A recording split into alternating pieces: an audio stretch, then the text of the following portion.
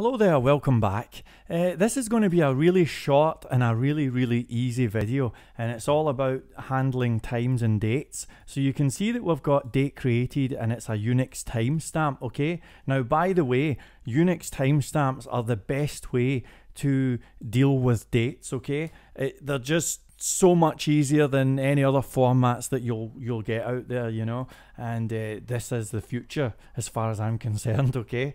So uh, we want to turn this into something nice. Now obviously handling dates and times is something that we're going to be doing all the time. Uh, pretty much every website that we ever look at is going to have some kind of date time functionality. So i'm going to make a brand new module up and i'm going to call it time date.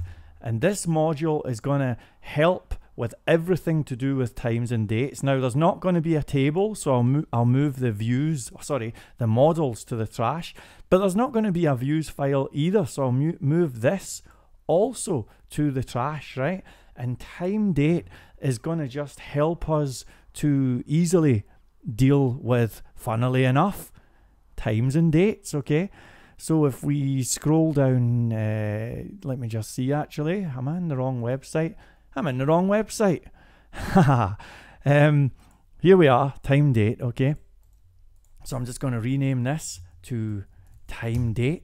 And this is going to make life so much easier for you I'll tell tell you that for sure. This is going to make life very easy. So there we go. It's time date. Now, what's time date going to do? Well, like I was saying, it's going to help with situations like this, and in fact, anything to do with times and dates.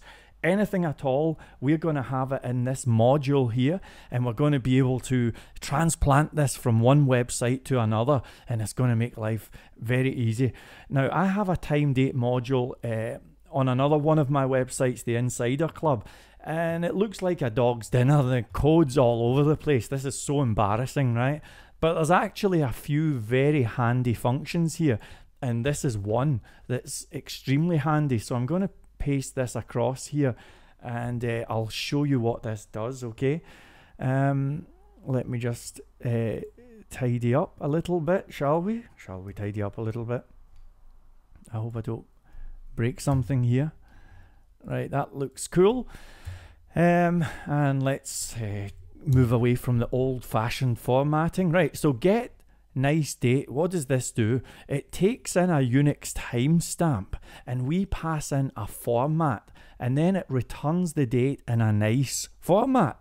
So here are some of the formats. We've got full, and then I give you an example of what that looks like. We've got cool, look, Friday the 18th, shorter, mini, old school.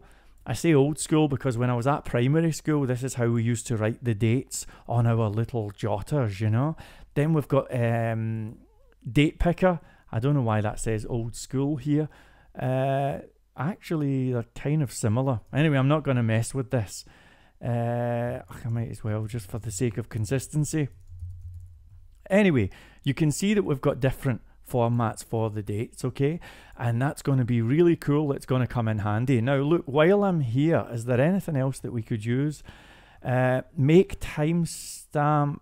Yeah, these are kind of uh, quite handy as well. So I'm going to copy these across. We're not going to use them today, folks, but we probably will use these in the future. So if you've ever seen one of those little uh, JavaScript date picker calendars, what this one does is it takes the one of those, like when you select a date, and it turns that into a timestamp. So it's very handy, and, and it's the kind of thing that's really just going to help in the future. Here's one here that generates a timestamp if you just fire in a day, a month, and a year, you know. Um, anyway, I've got a whole bunch of these, but I'm just going to use these three for the moment, and I'm going to upload this this entire module to the Insider Club website. Okay, so give your fingers a break. Take a trip to the Insider Club, Insider, and I'll give you uh, this module here, time date. And when you're doing anything to do with times and dates, just use this. Now, if we go back to our manage page here, you can see that we're looping through everything and we have date made here coming out onto the screen.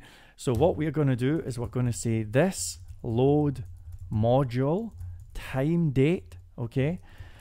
And then I'm going to say uh, date created equals uh, this time date get nice date and then it's going to be row date made and I'm going to go for the format cool. It's kind of a cool format, you know?